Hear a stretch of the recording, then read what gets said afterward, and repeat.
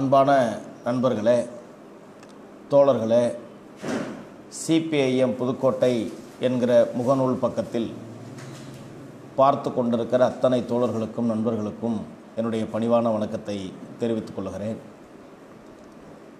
இன்றைய தினம் புதுக்கோட்டையில் நீராதாரம் என்கிற தலைப்பில் உங்களிடத்தில் நான் உரையாற்றுவதற்கு விரும்புகிறேன். பொதுவாக நண்பர்களே நீரின்றி அமையாத உலகு என்று வள்ளுவன் வாக்கு. உலகத்தில் காற்று எவ்வளவு முக்கியமோ நிலம் எவ்வளவு முக்கியமோ அதை போன்று நீர் இல்லாமல் எந்த ஒரு உயிரினங்களும் தாவரங்களும் வாழ முடியாது என்கிற யதார்த்தம் இருக்கிறது. அப்படிப்பட்ட நீராதாரத்தை மனித சமூகத்தில் கடந்த காலங்களில் எப்படி பராமரித்து வந்திருக்கிறார்கள்? அதை எப்படி மனித தேவைகளுக்கு வாழ்வாதாரத்திற்கு பயன்படுத்தி வந்திருக்கிறார்கள்? அந்த நீராதாரம் இன்றைக்கு எந்த நிலையில் இருக்கிறது? அதை எதிர்காலத்தில் நம்முடைய வாழ்வியலுக்கு எப்படி பாதுகாக்க வேண்டியிருக்கிறது என்பதைத்தான் நாம் இந்த தலைப்பிலே பேச இருக்கிறோம். நண்பர்களே தோழர்களே மனித இனத்தை இன்றைக்கு அச்சுறுத்தி கொண்டிருப்பது உலக நாடுகள் முழுவதும் கொரோனா என்கிற நோய் தொற்று கடுமையாக அச்சுறுத்தி கொண்டிருக்கிறது. என்ன நடக்குமோ என்கிற பேராபத்தில் உலக நாடுகள் முழுவதும் இருக்கிறார்கள். இதை போன்று இயற்கை சீற்றங்கள் பலமுறை மனிதர்களை தாக்குகிறது அழிக்கிறது. நோய் தொற்று எவ்வளவு ஆபத்தை உருவாக்குகிறதோ இயற்கை சீற்றங்கள் எவ்வளவு ஆபத்தை உருவாக்குகிறதோ அதை போன்றுதான் உலக நாடுகள் முழுவதும் இன்றைக்கு தண்ணீருக்கான போராட்டங்களும் தண்ணீர் பஞ்சங்களும் உலகத்தில் தலைவிரி தலைவிரித்தாடுவதற்கு துவங்கியிருக்கிறது. அநேகமாக சமீப காலங்களில் ஐநா சபை கூட நீராதாரம் குறித்து ஒரு அறிக்கை வெளியிட்டிருக்கிறார்கள். அந்த அறிக்கையில் உலகத்தில் இன்னும் ஐந்து ஆண்டுகளில் மூன்றில் ஒரு பகுதி நிலப்பரப்புகள் அறவே தண்ணீரற்ற நீரற்ற நிலப்பரப்புகளாக மாறும் என்கிற அபாயத்தை ஐநா சபை வெளிப்படுத்தியிருக்கிறது. அந்த ஐநா சபை நீராதாரம் குறித்து இந்திய நாடுகளுக்கு இந்திய நாட்டிற்கு சில எச்சரிக்கையை வெளிப்படுத்தியிருக்கிறார்கள். இன்னும் சில நாட்களில் இருபத்தி ஓரு நகரங்களில் இந்திய நகரங்களில் அறவே தண்ணீர் இல்லாத சூழல் ஏற்படும் என்கிற அபாயத்தை ஐநா சபை தெரிவித்திருக்கிறது.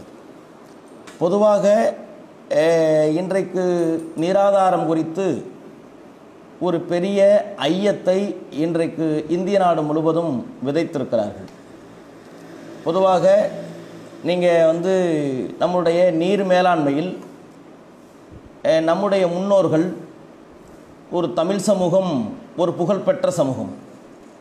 நீர் மேலாண்மை எப்படி இருக்க வேண்டும் என்பதை ஐயாயிரம் ஆண்டுகளுக்கு முன்பிலிருந்தே கிணறு வெட்டுவது கண்மாய்கள் வெட்டுவது குளங்கள் வெட்டுவது ஏரிகள் வெட்டுவது வான்மலையை சேமிப்பது அந்த வான்மலையை எப்படி பயன்படுத்த வேண்டும் என்கிற முறைகளை எல்லாம் தமிழ் சமூகத்தில் ஐயாயிரம் ஆண்டுகளுக்கு முன்பாக நீர் மேலாண்மையில் ஞானம் உள்ளவர்களாக இதிலே புகழ்பெற்றவர்களாக தமிழ் சமூகம் விளங்கியிருக்கிறது.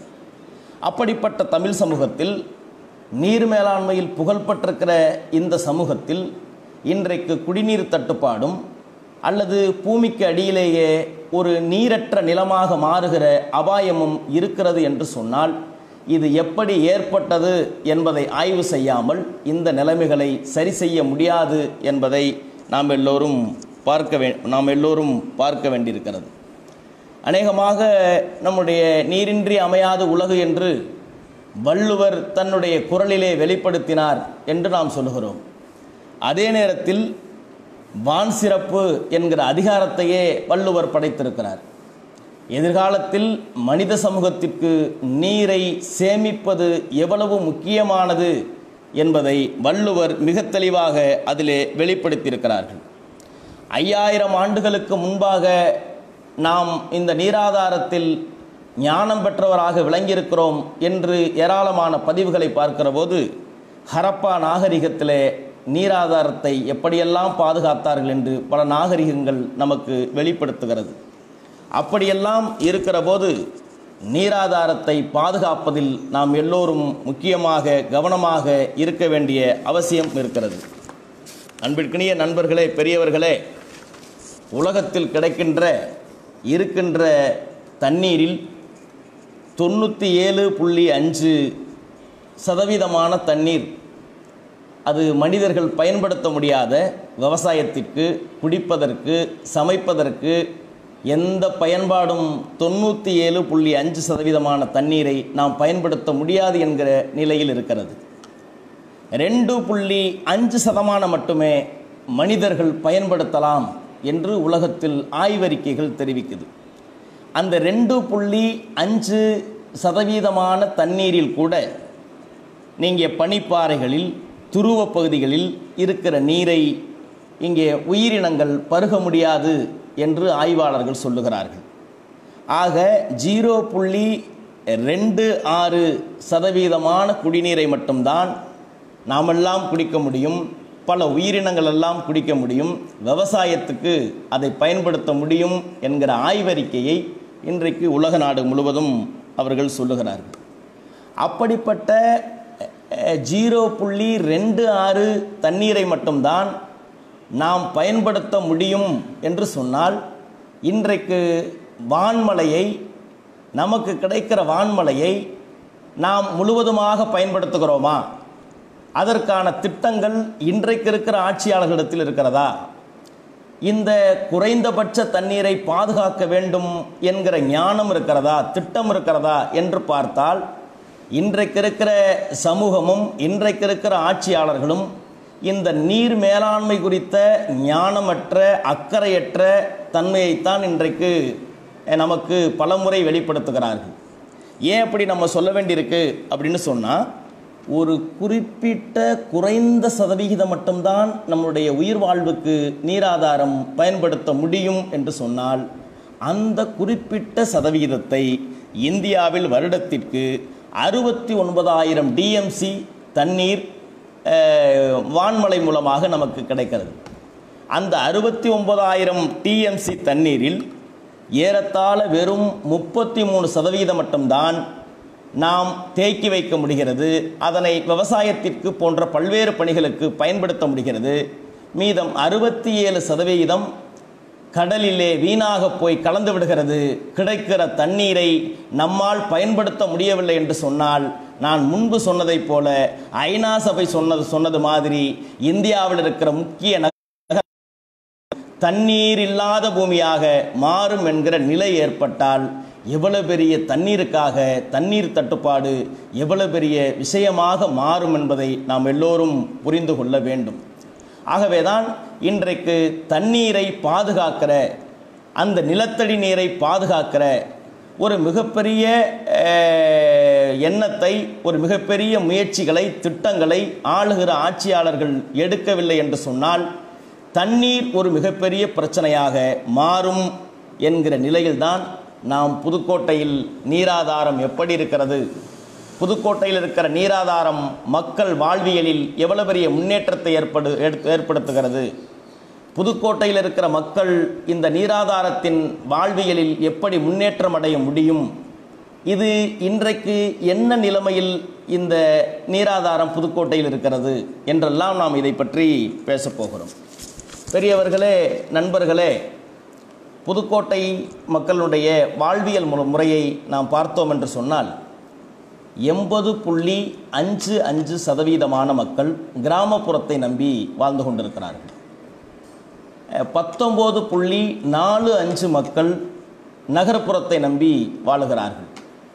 கிராமப்புறத்தை நம்பி வாழுகிற மக்கள் கிராமப்புறத்தை நம்பி வாழுகிற மக்கள் அவர்களுக்கு என்ன வாழ்வாதார தொழிலாக இருக்கிறது? என்று நாம் பார்க்க வேண்டும். கிராமப்புறத்தில் இருப்பவர்கள் வாழ்வாதார தொழில் விவசாயம். விவசாயத்தை நம்பிதான் புதுக்கோட்டை மாவட்டத்தில் இருக்கிற பெரும்பகுதியான கிராமப்புற மக்கள் இன்றைக்கு வாழ்ந்து கொண்டிருக்கிறார்கள். அந்த விவசாயம் புதுக்கோட்டையில் இன்றைக்கு நீராதாரம் ஒரு மிகப்பெரிய பற்றாக்குறையை ஏற்படுத்தியிருக்கிறது. ஒரு காலத்தில் கண்மாயில் நிரம்புகிற நீரை பயன்படுத்தி அங்கே விவசாயம் செய்து அதில் கிடைக்கிற வருவாயை கொண்டு தன்னுடைய வாழ்வாதாரத்தை பாதுகாத்து வந்தார்கள். இன்றைக்கு மாவட்டம் முழுவதும் இருக்கிற கண்மாய்கள் அந்த கண்மாய்களில் நீர் நிரம்ப முடியவில்லை. மழை நீரை சேமிக்க முடியவில்லை. முற்றிலுமாக கண்மாய்களின் மூலமாக நடந்த விவசாய நிலப்பரப்புகள் முற்றிலும் தடைப்பட்டிருக்கிறது அடுத்து நம்முடைய ஆட்கள் கிணறுகளை தோண்டி தேவைக்கேற்ப தண்ணீரை எடுத்து இன்றைக்கு விவசாயத்தை செய்து வந்தார்கள். அந்த கிணறுகளிலும் இன்றைக்கு தண்ணீர் இல்லாத காரணத்தால் அங்கே கிணறுகள் மூலமாக செய்த அந்த விவசாயமும் முற்றிலுமாக தடைப்பட்டிருக்கிறது அடுத்து மூன்றாவது கட்டமாக ஆழ்துளை கிணறுகள் மூலமாக ஒரு முந்நூறு அடி நானூறு அடி ஆழ்துளை கிணறுகள் அமைத்து அங்கே பல்வேறு விதமான பயிர்களையும் பல்வேறு விதமான விவசாய பொருட்களையும் உற்பத்தி செய்கிற அந்த வேலையில் ஈடுபட்டு வந்தவர்கள் சமீப பத்தாண்டுகளில் ஆழ்குழாய் கிணறுகளும் இன்றைக்கு தண்ணீர் இல்லாமல் வற்றி போய்விட்டது. தாழ்குழாய் கிணறுகளின் மூலமாக விவசாயம் செய்த விவசாயமும் இன்றைக்கு நின்றுவிட்டது. சரி இன்னைக்கு எப்படி விவசாயம் நடக்குது அப்படின்னு நீங்கள் பார்த்தா ஆயிரம் அடி ஆயிரத்தி இரநூறு அடி ஒருவர் இப்போ வந்து ஆழ்குழாய் கிணறு அமைத்தால் மட்டும்தான் இந்த விவசாயம் நம்மளால் செய் விவசாயம் நம்மளால் செய்ய முடியும் என்கிற ஒரு சூழல் இருக்கிற போது அந்த ஆழ்துளை கிணறுகள் எல்லோரும் போட்டு விட முடியுமா? ஆயிரம் அடி ஆழ்துளை கிணறு போடணும்னு சொன்னால் ஏறத்தாழ ஒரு பதினஞ்சு லட்சம் ரூபாய் செலவு செய்யாமல் அப்படி போன்ற அந்த ஆழ்துளை கிணறுகள் அமைக்க முடியாது. சாதாரண சாமானிய ஒரு ஏக்கர் ரெண்டு ஏக்கர் வச்சிருக்கிற சாதாரண ஏ ஏழை விவசாயிகள் இன்றைக்கு அப்படிப்பட்ட பதினஞ்சு லட்சம் செலவு பண்ணி நீர் எடுத்து விவசாயம் செய்ய முடியாத யதார்த்தத்தில் இன்றைக்கு பல ஆயிரம் ஏக்கர்கள் விவசாயம் தடைபட்டு கிராமப்புற வாழ்வாதாரமே இன்றைக்கு சீரழிக்கப்பட்டிருக்கிறது. கிராமப்புற ஏழை மக்களின் வாழ்வாதாரம் சீரழிக்கப்பட்டது பட்டிருப்பதற்கு ஒரு மிக சீரழிக்கப்பட்டிருப்பதற்கு ஒரு மிகப்பெரிய காரணம் புதுக்கோட்டை மாவட்டத்தில் நீராதாரம் இல்லாமல் போயிருப்பது ஒரு மிகப்பெரிய காரணம் என்று நம்மளால் பார்க்க முடியுது. ஆக நீங்கள் நகர்ப்புறத்தில் இருக்கிற மக்கள் நகர்ப்புறத்தில் இருக்கிற மக்கள் புதுக்கோட்டையில் ஒரு பெரிய ஒரு கம்பெனி இண்டஸ்ட்ரீஸோ அல்லது மிகப்பெரிய தொழிற்சாலைகளோ இங்கு நகர்ப்புறத்தில் இருக்க இருக்கிற படித்த இளைஞர்களுக்கு வேலைவாய்ப்பை தருவதாக அப்படிப்பட்ட ஒரு பெரிய ஏற்பாடு புதுக்கோட்டையிலே இல்லை. நகர்ப்புறத்தில் வாழ்கிறவங்களுக்கு என்ன வேலைவாய்ப்பு? இங்கே இருக்கிற கடைகள் இங்கே இருக்கிற ஹோட்டல்கள் இங்கே இருக்கிற பல்வேறு விதமான சிறு சிறு வணிக நிறுவனங்கள். இந்த பல்வேறு விதமான சிறு சிறு வணிக நிறுவனங்கள் எப்படி நடக்கும்? கிராமப்புறத்தில் இருக்கிற ஏழைகள் தன்னுடைய வாழ்வாதாரத்தை பெருக்கி வருமானத்தை பெருக்கி விவசாயத்தின் மூலமாக கிடைக்கிற வருவாயை அவர்களுக்கு தேவையான பொருளை நகருக்கு வந்து வாங்கி பெற்று என்று நுகர்வு செய்கிற போதுதான் நகரத்தில் இருக்கிற இந்த பத்தொம்போது புள்ளி நாலு அஞ்சு மக்கள் அந்த வருவாயை கொண்டு பிழைப்பு நடத்துகிறார்கள். அப்போ கிராமப்புற வாழ்வாதாரம் சீரழிக்கப்பட்டதற்கு பிறகு வாழ்வாதாரத்தை இழந்ததற்கு பிறகு நகர்ப்புற மக்களும் ஒரு வாழ முடியாத ஒரு மிகப்பெரிய நெருக்கடியில் புதுக்கோட்டை மாவட்டம் இன்றைக்கு நின்று கொண்டிருக்கிறது.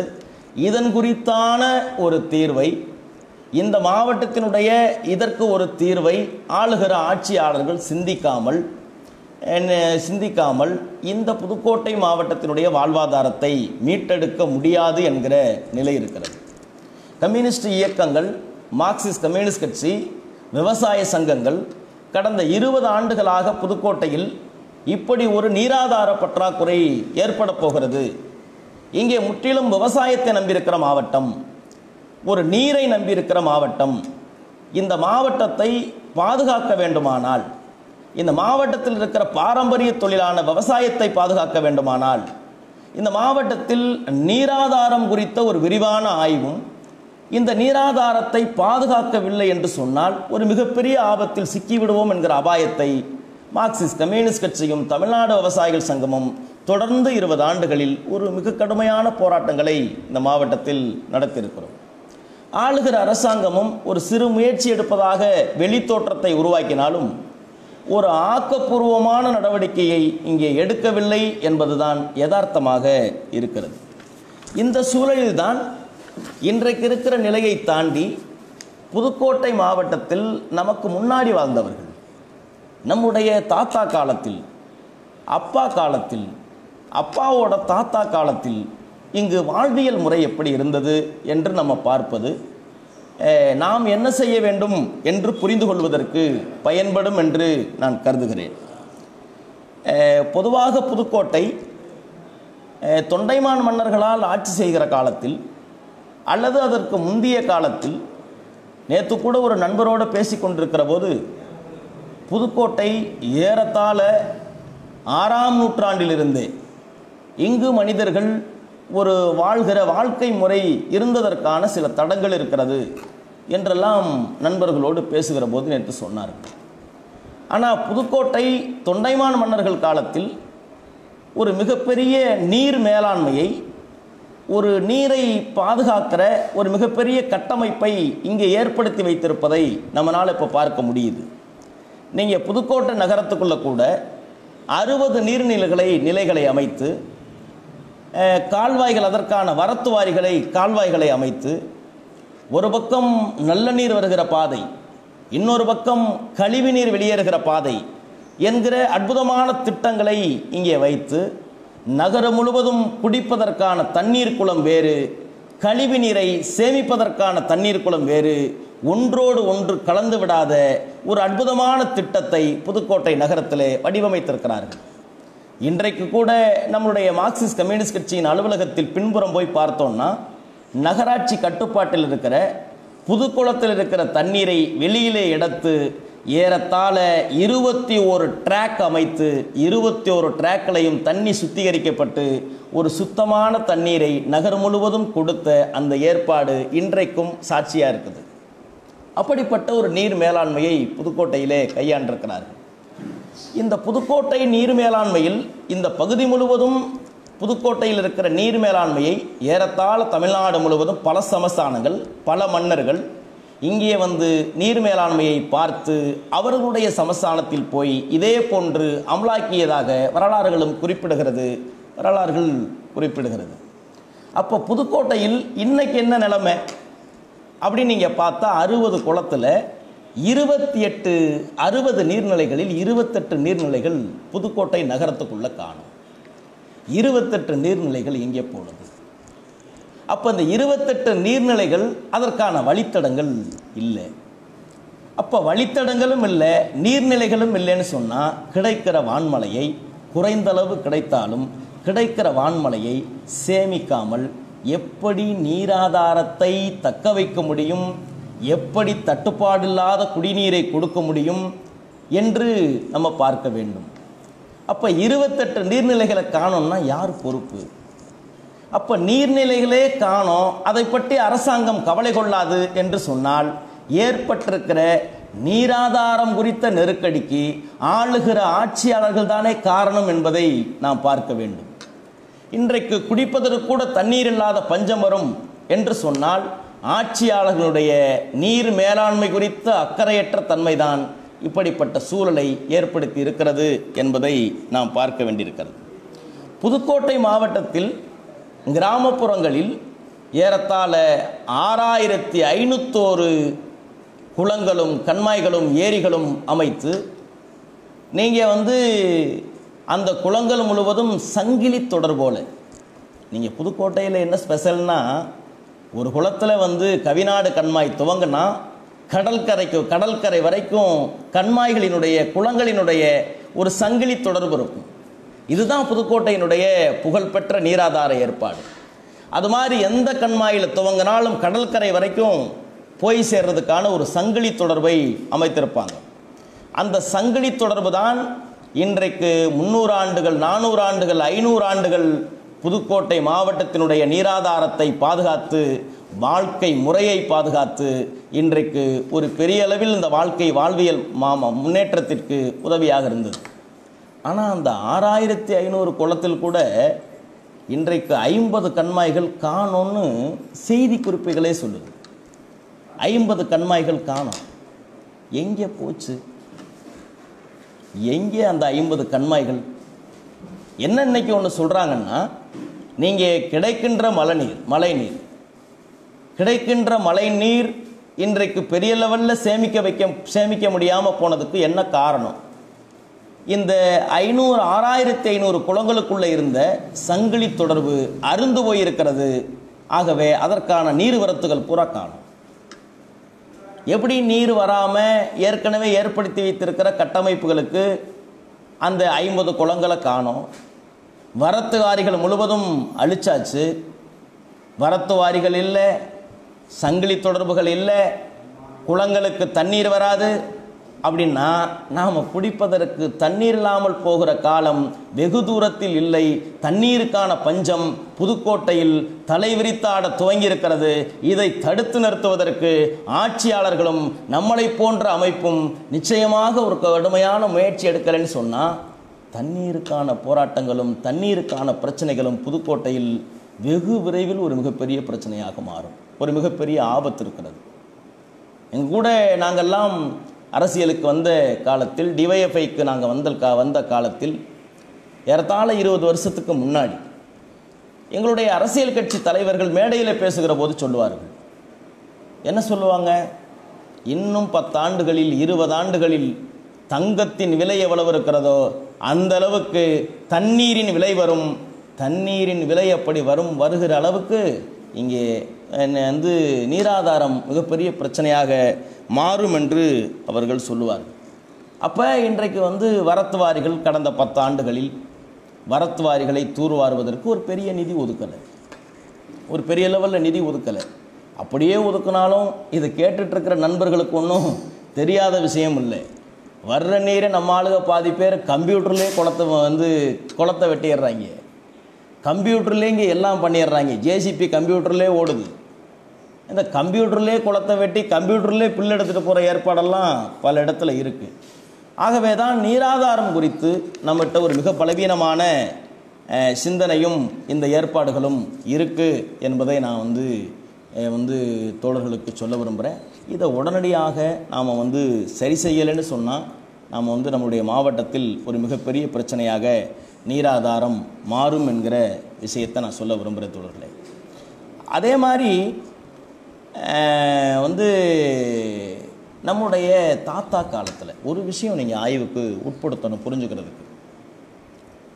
நம்ம வந்து நம்மளுடைய தாத்தா காலத்தில் எனக்கு தெரிஞ்சு எங்கள் ஊர்ல எல்லாம் பார்த்தீங்கன்னா போய் ஒரு ஒரு ஒரு கப்பை எடுத்துக்கிட்டு போய் கிணத்துல குமிஞ்சு தண்ணி அள்ளி ஊற்றி குளிச்சுட்டு வந்த நாட்கள் எல்லாம் உண்டு.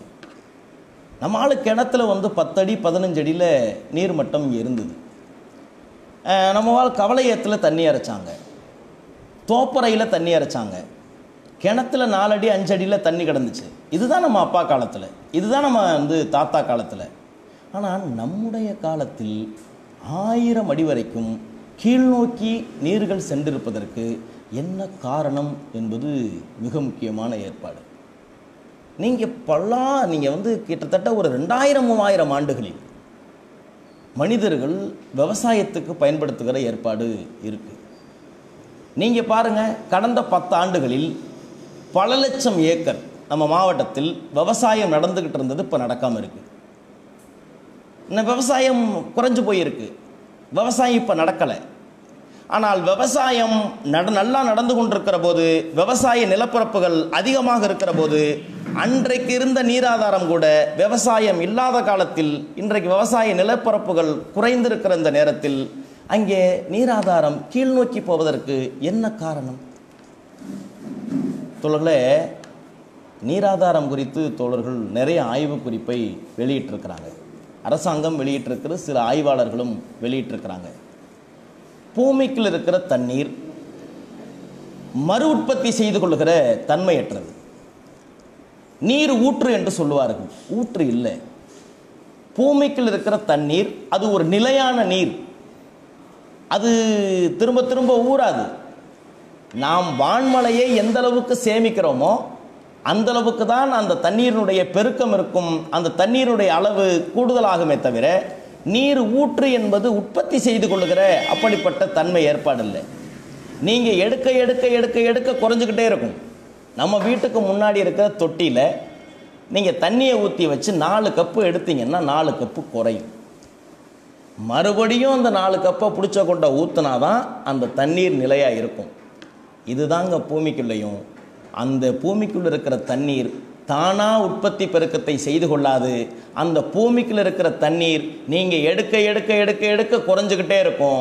வான்மலை மூலமாக நீர் சேமிப்பு மூலமாக பூமிக்குள் எவ்வளவு சேர்க்கிறோமோ அப்போதுதான் அது குறையாம இருக்கும் என்று சொன்னால் அப்படிப்பட்ட வான்மலையை பாதுகாக்கிற அப்படிப்பட்ட வான்மலையை நீர்நிலைகளில் தேக்கி நீருக்குள்ளே தண்ணீரை சேமிக்கிற இந்த நடைமுறையில் ஒரு மிகப்பெரிய சிக்கல் ஏற்பட்டிருக்கிறது. மிகப்பெரிய ஆளுகிற ஆட்சியாளர்கள் இதற்கு தடையாக இருந்திருக்கிறார்கள். ஆகவே தான் இப்படிப்பட்ட ஒரு நீராதார பிரச்சனை வருவதற்கு காரணமாக இருந்திருக்கிறது என்பதை நாம் பார்க்க முடியுது. இன்னொன்று என்ன சொல்கிறாங்க இந்த நீராதாரம் வந்து இவ்வளோ பெரிய பிரச்சனைக்கு நாங்கள் என்னங்க பண்ணுறது என்ன பண்ண முடியும்? வான்மழை இல்லை. மழை பெய்யலைங்க. நீராதார பிரச்சனை தான் வந்ததுக்கு காரணம். நீங்கள் அரசாங்கத்தை குறை சொல்கிறீங்க இது எப்படி சரியாக இருக்கும்? நீங்கள் வேறு விதமாக பேசுகிறீங்களே என்ற கம்யூனிஸ்டுகளை பார்த்து விவசாய சங்கங்களை பார்த்து ஆட்சியாளர்கள் பேசுகிறாங்க சொல்கிறாங்க தோழர்களே புதுக்கோட்டை மாவட்டத்தை பொறுத்த வரைக்கும் தென்மேற்கு பருவமழை சராசரியாக இருநூத்தி எண்பத்தி எட்டு மில்லிமீட்டர் அதே மாதிரி வடகிழக்கு பருவமழை சராசரியாக ஐநூற்றி ஒரு மில்லிமீட்டர் மொத்தம் தொள்ளாயிரத்தி அஞ்சு மில்லிமீட்டர் தான் புதுக்கோட்டையினுடைய சராசரி மழையின் அளவு. கடந்த பதினைந்து ஆண்டுகளை நம்ம இப்போ கணக்கில் எடுத்துக்கிறோம். பதினைந்து ஆண்டுகளில் இந்த சராசரி மழை சராசரி மில்லிமீட்டர் மலையில் ஆறு ஆண்டுகள் சராசரியை விட ஐம்பது அறுபது மில்லிமீட்டர் கூடுதலாக பெஞ்சு மழை பெய்திருக்கு. சராசரியை விட ஐம்பது அறுபது பாயிண்ட் கூடுதலாக மில்லிமீட்டர் பதிவாயிருக்கு. இன்னொரு ஆறு வருஷம் சராசரியை விட ஐம்பது ஆறு அறுபது பாயிண்ட் குறைவாக ஏற்பட்டிருக்கு. இதில் வெறும் மூன்று ஆண்டுகள் மட்டும் ஐநூறு அறநூறு என்று மில்லிமீட்டர் பதிவாயிருக்கு.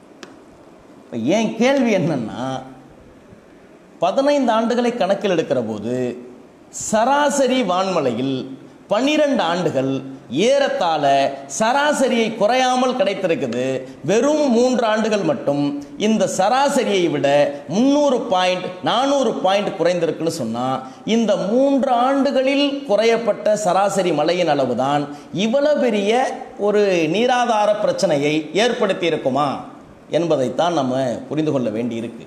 நிச்சயம் மூன்றாண்டுகளில் ஏற்பட்ட அந்த மூன்றாண்டுகளும் கூட ரெண்டாயிரத்தி நாலாம் ஆண்டு ஒன்று ரெண்டாயிரத்தி பதிமூணாம் ஆண்டு ஒன்று ரெண்டாயிரத்தி பதினஞ்சாம் ஆண்டு ஒன்று இது கூட தொடர்ச்சியான காலங்கள் இல்லை.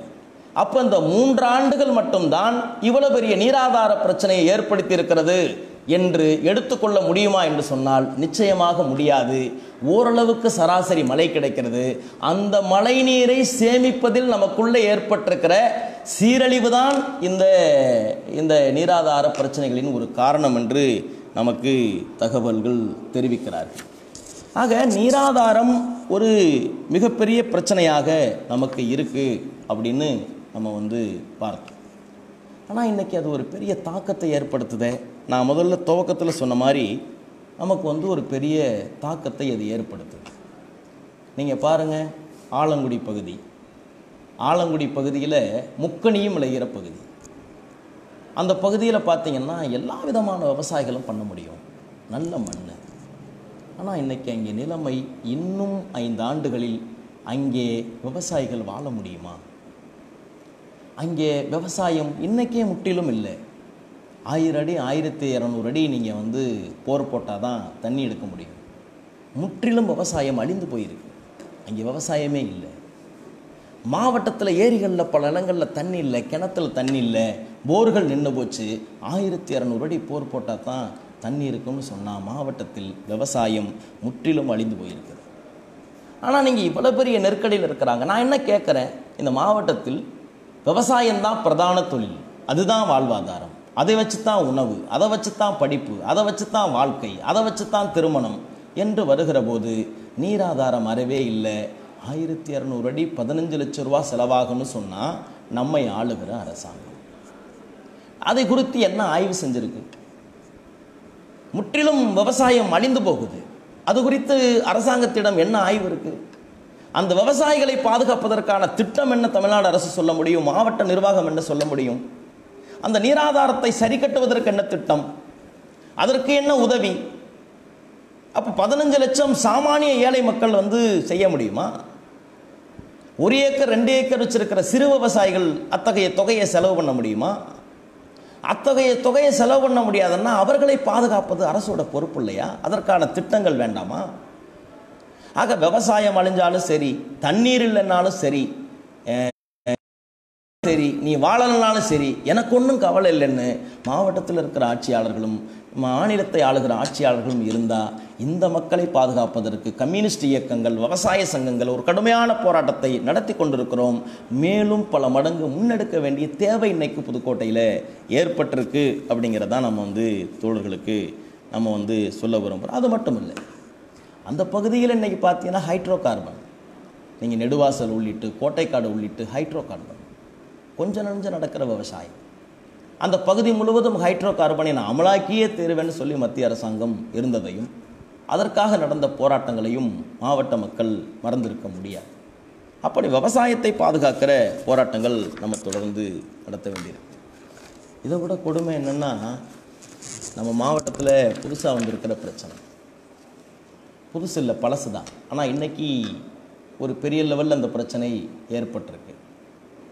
மாவட்டத்தில் குடிக்கிற தண்ணீர் என்னைக்காவது நான் நான் மட்டுமல்ல புதுக்கோட்டையில் பிறந்திருக்கிறேன் ஒரு காலத்தில் வந்து சொல்லுவாங்க. நீங்கள் வந்து புதுக்கோட்டையில் நிறைய சொல்லுவாங்க. குடிக்கிற தண்ணீர் ஒரு மிகப்பெரிய பிரச்சனையாக மாறி நீங்கள் நீண்ட நெடிய நாட்களாகவே அறந்தாங்கி ஆவுடையார் கோவில் மணமேல்குடி இவங்க கிட்டத்தட்ட ஒரு முப்பது நா முப்பது ஆண்டுகளுக்கு மேலாகும். அங்கே எல்லாம் தண்ணீர் குடிக்கிறது போர் போட்டு எடுக்க முடியாது. ஏன்னா பக்கத்தில் கடற்கரை இருக்குது உப்பு நீர் உள் உள்புகுந்திருக்கு நம்ம தண்ணிக்குள்ளே கடல் நீர் உள்புகுந்திருக்கு உப்பு நீர் கலந்துருக்குது. அங்கே போர் போட்டு தண்ணி எடுக்க முடியாது. முன்னாடி எப்படி தண்ணி குடித்தாங்க அப்படின்னு சொன்னால் வான்மலையை கண்மாய்களில் சேமித்து கண்மாய்களில் எடுக்கிற தண்ணீரை சுத்தப்படுத்தி குடிநீருக்கு சமையலுக்கு பயன்படுத்துகிற நடைமுறை அறந்தாங்கி ஒரு பகுதி ஆவுடையார் கோவில் மணமேல்குடியில் இருந்தது. இப்போ வான்மலை கண்மாய்களுக்கு அதிகமாக வர்றதில்லை. வான்மலை கண்மாய்களுக்கு வர்றதில்லைன்னு சொன்னால் அந்த நீரை எடுத்து குடிப்பதற்கு பயன்படலை. அப்போ அறந்தாங்கில ஒரு பகுதி ஆவுடையார் கோவில் பகுதி மணமேல்குடி பகுதி முழுவதும் அவங்க காசு கொடுத்து தான் தண்ணியை வாங்கி சமைக்கிறாங்க குடிக்கிறாங்க. இது யாராதால பதினஞ்சு இருபது ஆண்டுகளாக நடக்குது. நான் என்ன கேட்குறேன்? ஒரு குடிக்கிற தண்ணீர் அவன் காசு கொடுத்து வாங்கி கொடுக்குறான்னு சொல்லி பலமுறை கோரிக்கை வச்சதுக்கு பிறகும் அந்த தண்ணீரை சாதாரண சாமானிய மக்களுக்கு ஒரு நல்ல தண்ணீரை சுத்தமான தண்ணீரை கொடுக்கிற பொறுப்பு அரசாங்கத்துக்கு இருக்கா இல்லையா என்பது தான் கேள்வி. இருக்குதா இல்லையா என்பது தான் நம்மளுடைய கேள்வி. அப்போ அரசாங்கம் குடிக்கிற தண்ணீரில் இவ்வளவு பெரிய பிரச்சனை இருக்கு. அங்கே ஒரு மாற்றம் ஏற்பட்டிருக்கு. கண்மாய்களுக்கு தண்ணீர் வரல. காசு கொடுத்து தான் வந்து சமைக்கிறதுக்கு தண்ணி வாங்குறாங்க. குடிக்கிறதுக்கு தண்ணி வாங்குறாங்க. ஆகவே அவர்கள் ஒரு ஒரு ஒரு குறிப்பிட்ட தொகையை ஒரு நாளைக்கு குடிப்பதற்கும் சமைப்பதற்கும் தண்ணீருக்கு மட்டுமே பயன்படுத்துகிற நிலை ஏற்படுகிற போது ஏழைகள் எப்படி தாங்க முடியும்? ஏழைகள் எப்படி வருவா எப்படி அவர்கள் வந்து இதையெல்லாம் சமாளிக்க முடியும் என்கிற பொறுப்புணர்வோடு அரசாங்கம் சிந்திக்க வேண்டியிருக்கிறது. குடிக்கிற தண்ணீரை இந்த மாவட்டத்தில் இலவசமாக கொடுக்க வைக்கிற போராட்டத்தை கொடுக்கிற ஒரு மனோப்பான்மையை உருவாக்குகிற போராட்டத்தை நாம் வந்து செய்ய வேண்டியிருக்கு தோழர்களே நண்பர்களே. நீங்கள் இன்னொரு பக்கம் அது வருது. நீங்கள் புதுக்கோட்டை மேல் பகுதியில் மேற்கு பகுதியில். நீங்கள் அன்னவாசல் துவங்கி குன்னண்டார் கோவில் கந்தர்கோட்டை வரைக்கும். அன்னவாசல்லேருந்து குன்னண்டார் கோவில் கந்தர்கோட்டை வரைக்கும். இவங்கெல்லாம் குடிக்கிற தண்ணீர் ஏற்கனவே நான் வந்து சொன்னது மாதிரி குட்டைகளில் நிரப்பி கண்மாய்களில் நிரப்பி அதன் மூலமாக தண்ணீர் எடுத்து குடித்தாங்க இப்போ குளங்களுக்கும் கண்மாய்களுக்கும் தண்ணீர் வர்றதில்லை. அங்கே போர் போட்டு போர் மூலமாக வர்ற தண்ணியை தான் குடிக்கிறாங்க. பொதுவாக நான் சொன்ன இந்த அன்னவாசல் குன்னண்டார் கோவில் கந்தரகோட்டை இந்த விராலிமலை இந்த பகுதிகளில் பாறைகள் அதிகமாக நிறைந்திருக்கிற பகுதி. பாறைகள் அதிகமாக நிறைந்திருக்கிற பகுதின்னு சொன்னால் பாறைகளுக்குள் இருக்கிற தண்ணீர் வேதி உப்பின் அளவு அதிகமாக இருக்குது அப்படின்னு சொல்கிறாங்க வேதி உப்பினுடைய அளவு அதிகமாக இருக்குன்னு சொல்கிறாங்க அப்போ வேதி உப்போட அளவு அதிகமாக இருக்குன்னு சொன்னால் அந்த தண்ணீரை குடிப்பவர்கள் அந்த பகுதிகளில் பெரும்பகுதியான கிராமங்களில் ஏராளமானவர்கள் சிறியவர்கள் பெரியவர்கள் பெண்கள் என்று ஒரு சிறுநீரக கோளாறு மனித உடல்களுக்குள்ளே உறுப்பு ஏராளமான உறுப்புகளை பாதித்து முப்பது வயசு முப்பத்தஞ்சு வயசு நாற்பது வயசு ஆறு வயசு ஏழு வயசு என்று இந்த மாவட்டத்தில் நூற்றுக்கணக்கான பேர் அந்த தண்ணியை பருகுவதால் உப்பு தண்ணியை பருகுவதால் இன்றைக்கு அவர்கள் உடல்நிலையை பாதிப்பு ஏற்பட்டு சிறுநீரக கோளாறு ஏற்பட்டு மரணம் அடைந்திருக்கிறார் நீ ஒரு பதினஞ்சு ஆண்டுகளுக்கு முன்னாடி குன்னண்டார் கோவில் ஒன்றியம் கிள்ளனூருங்கிற கிராமத்தில் அருமை தோழரின் சின்னதரை உட்பட எங்களுடைய தலைவர்கள் ஒரு போராட்டத்தை நடத்தி அரசாங்கத்துக்கு வெளிப்படுத்தினார்கள். அங்கே சிறுநீரக கோளாறு பெரும்பகுதியான ஆட்களுக்கு ஏற்படுத்தி ஒரு பெரிய போராட்டத்தை நடத்தி அங்கே சுத்திகரிக்கிற பிளான்டை ஏற்படுத்தி அங்கே நல்ல தண்ணி கொடுப்பதற்கு ஒரு போராட்டம் நடந்தது. ஆனால் இன்றைக்கும் நடக்குது. ராசாப்பட்டிங்கிற கிராமம் தெம்மாவூருங்கிற கிராமம் இன்னும் பல கிராமங்களில் குணண்டார் கோவில் ஒன்றியத்தில் அங்கே உப்பு நீரை பருகுவதால் அங்கே போய் கூட்டத்துக்கு போனோம்னாவே பரிதாபமாக இருக்கும். கணவனை இழந்த இளம் மனைவிகள் கணவனை இது தந்தையை இழந்த பிஞ்சு குழந்தைகள் அதையெல்லாம் பார்க்குற போது இன்னுமே ரொம்ப சங்கடமாக இருக்கும். ஆனால் இன்றைக்கி அதை பார்த்தீங்கன்னா அதை பற்றி ஒரு மார்க்சிஸ்ட் கம்யூனிஸ்ட் கட்சி கொண்டார்கோவில் ஒன்றியத்தில் ஒரு பெரும் போராட்டம் நடத்தி இப்போ சுத்திகரிக்கிற வாட்டர் பிளான்ட்டை ஊராட்சி வாரியாக நாங்கள் அமைக்கிறோம்னு சொல்லி ஒன்று ரெண்டு இடங்களில் ஒரு முயற்சி பண்ணியிருக்கிறாங்க அதே மாதிரி கடந்த ஒரு வாரத்துக்கு முன்னாடி இன்றைக்கி லைவில் இருக்குது வாகைப்பட்டின்ற ஊருக்கு நாங்கள் அன்னவாசல் ஒன்றியம் வாகைப்பட்டின்ற ஊருக்கு போனோம். அங்கே இதே மாதிரி பிரச்சனை. கடந்த இரண்டு ஆண்டுகளில் மட்டும் பத்து பேருக்கு மேலே இறந்துருக்கிறாங்க. பத்து பேருக்கு மேலே. என்னன்னு கேட்டால் இதே குடித நீர் பிரச்சனை.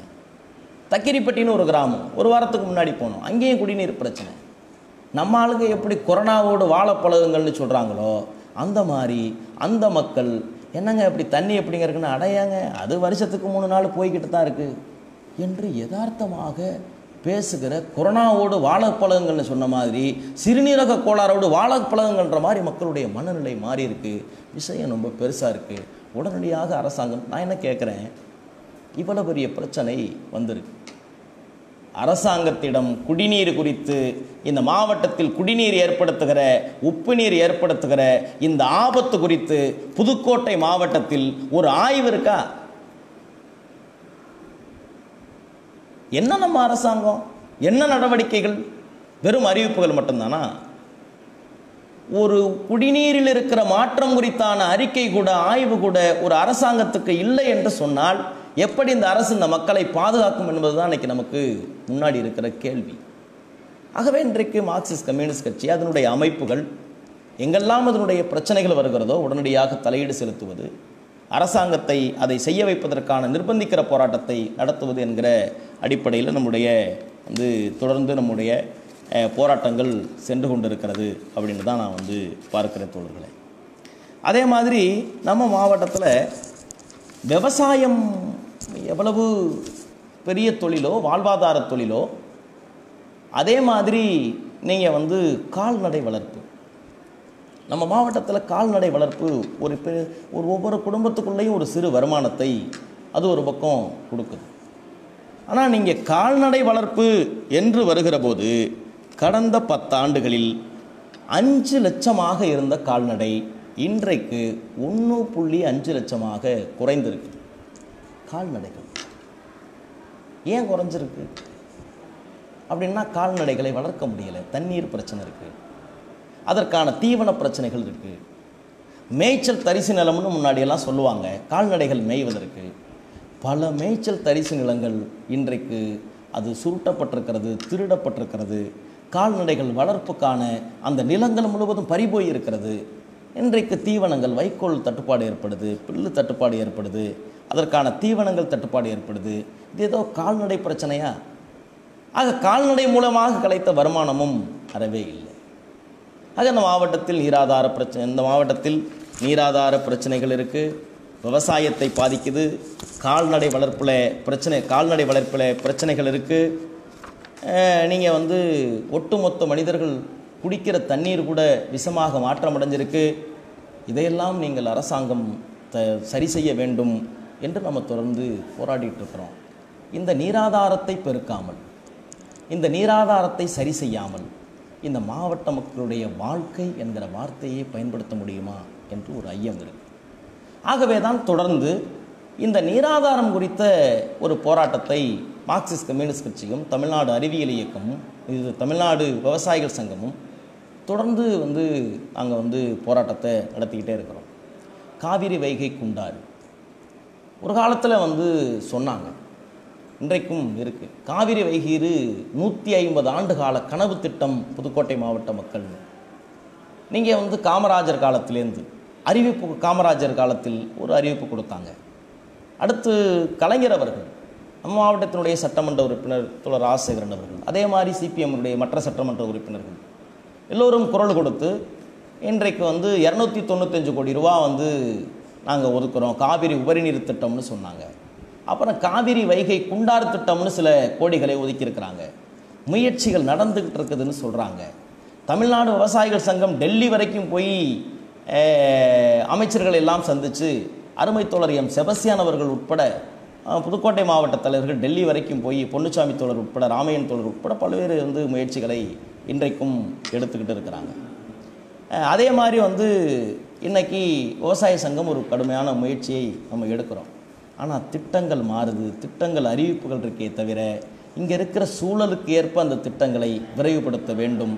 இன்றைக்கு மாவட்டத்தில் நீராதாரத்தை பெருக்குவதின் மட்டும்தான் இங்கே வாழ்வாதாரம் இருக்குது மக்களுடைய வாழ்க்கை முறை இருக்குது. ஆகவே காவிரி வைகை குண்டாறு திட்டம் இந்த மாவட்டத்தில் மிக முக்கியமான திட்டம். அதில் என்ன கோரிக்கை வைக்க வேண்டியிருக்கு அப்படின்னு சொன்னால் ஆட்சியாளர்கள் விருப்பம் போல அந்த வடித்தளங்களை அமைக்கக்கூடாது. இப்போ மாவட்டம் முழுவதும் அந்த காவிரி வைகை குண்டார் வருவதன் மூலமாக நீராதாரத்தை பெருக்குவதற்கு நீர்நிலைகளை நெ- பெருக்கு நீர்நிலைகளை பெருக்குவதற்கு ஒரு நல்ல முயற்சியை வந்து மாவட்டம் முழுவதும் பயன்படுகிற வகையில் வந்து நம்ம எடுக்க வைக்க வேண்டியிருக்கு. அதை நோக்கி நம்முடைய போராட்டங்களும் நம்முடைய செயல்பாடுகளும் அமைய வேண்டியிருக்கு அப்படின்னு தான் நான் வந்து பார்க்குறேன் தோழர்களே. தோழர்களே நிறைவாக இந்த மாவட்டத்தில் நிறைவாக இந்த மாவட்டத்தில் ஒரு சமீபத்தில் ஒரு பிரச்சனை ஓடிட்டே இருக்கு. ஏற்கனவே வந்து புதுக்கோட்டையில் தொண்டைமான் மன்னர்கள் காவிரி ஆற்றில் நீர் எடுக்க வேண்டும். காவிரி ஆற்றிலிருந்து புதுக்கோட்டைக்கு கால்வாய் அமைக்க வேண்டும் என்று அவர்கள் முயற்சி எடுத்ததாகவும் அந்த முயற்சியில் அன்றைக்கு இருந்த அரசாங்கம் மன்னராட்சி காலத்தில் இந்த கால்வாய் வெட்டுவதற்கு ஒரு பெரும் தொகை தேவைப்படுகிறது. அரசினுடைய வரவு செலவு தொகையும் அங்கே கால்வாய் வெட்டுவதற்கான தேவைப்படுகிற தொகையும் வரவு செலவுக்கு அப்பாற்பட்டு மிகுதியாக இருக்கிற காரணத்தால் எங்களுக்கு காவிரியிலிருந்து கால்வாய் அமைப்பதற்கு இப்போது சாத்தியமில்லை என்று கைவிட்டதாக இன்றைக்கும் வரலாறுகளில் பல பேர் எழுதுகிற புத்தகத்தில் பார்க்க முடியுது. அது மட்டும் அதுக்கு காரணம் இல்லை அவர்கள் காவிரி வேண்டாம் என்று எடுத்த முடிவுக்கு மிகப்பெரிய காரணம் புதுக்கோட்டை நீர் மேலாண்மையில் புகழ் பெற்றிருக்கிறது. இங்கே விழுகு எல்லா குளங்கள் ஏரிகள் கண்மாய்கள் எல்லாம் அமைத்து நீர்நிலைகள் மேம்பட்டிருக்கிறது. ஆகவே அவர்கள் அந்த காவிரியினுடைய வருகை பற்றி கவலை கொள்ளவில்லை அப்படின்னு சொல்கிறாங்க அதுக்கு என்ன காரணம் அப்படின்னு கேட்டால் மாதம் மும்மாதிரி மழை பெய்யும் அப்போ புதுக்கோட்டையில் இவ்வளவு நீர்வளம் மிகுதியாக மன்னராட்சி காலத்தில் அதற்கு முன்பு இருக்கிற காலத்தில் ஒரு நீராதாரம் மலை உட்பட குளங்கள் உட்பட இவ்வளவு அமைப்பதற்கு காரணமாக இருந்தது என்ன அப்படின்னு கேட்டிங்கன்னா இங்கே இருந்துக்கிற பழமரக்காடுகள் பல்வேறு சூழல்கள் என்று சொல்கிறாங்க ஆனால் இன்றைக்கி நிலைமை என்ன? எங்கு பார்த்தாலும் அரசுபதி எங்கு பார்த்தாலும் இதில் வந்து பேப்பர் கம்பெனிகள் தனியார் கம்பெனிகள் ஆக ஆர்எஸ்பதினால் ஒரு பெரிய பாதிப்புகள் வருது என்று வந்து தொடர்ந்து நம்முடைய பல அமைப்புகள் குரல் கொடுக்குறாங்க. அதையும் அரசாங்கம் கவனிக்க வேண்டும். தோழர்களே நண்பர்களே நாம் நிறைவாக சொல்ல விரும்புவது தோழர்களுக்கு நீரின்றி அமையாது உலகு என்று வள்ளுவர் சொன்னார். துவக்கத்திலும் நானும் சொன்னேன்.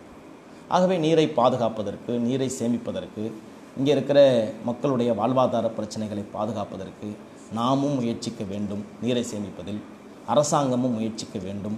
நீர்நிலைகளை முழுவதும் பாதுகாக்கிற போராட்டத்தை அரசை நிர்பந்திக்கிற போராட்டத்தை நாம் தொடர்ந்து முன்னெடுத்து செல்ல வேண்டும் என்கிற முறையில் கேட்டு இதன் இந்த நேரலையை ஏற்பாடு செய்திருக்கிற அன்பு தோழர் மா கட்சியினுடைய மாவட்ட செயலாளர் தோழர் எஸ். கைவர்மன் அவர்களுக்கும் கல்விக்குழு கன்வீனர் தோழர் அசோகன் அவர்களுக்கும் இந்த ஏற்பாடுகளை தொடர்ந்து செய்து கொண்டிருக்கிற டிவைஎஃப்ஐனுடைய மாவட்ட செயலாளர் தோழர் நாராயணன் உள்ளிட்ட அந்த டிவைஎஃப்ஐ நண்பர்களுக்கும் பாபு ஜனா விக்கி உள்ளிட்ட அனை- அனைத்து நண்பர்களுக்கும் மார்க்சிஸ்ட் கம்யூனிஸ்ட் கட்சியின் புதுக்கோட்டை மாவட்ட குழு சார்பில் நன்றிகளையும் வாழ்த்துக்களையும் தெரிவித்து